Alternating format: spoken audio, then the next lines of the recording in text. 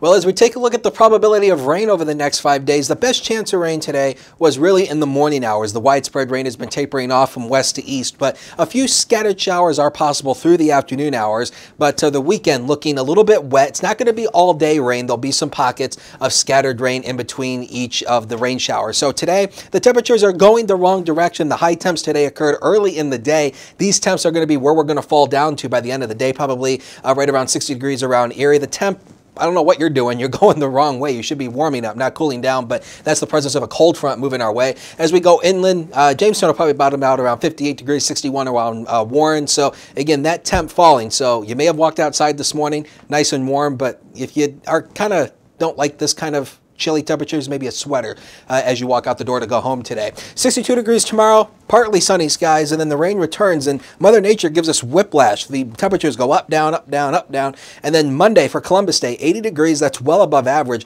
We should be near 64 degrees this time of the year, and the 70s will continue for at least the middle of next week.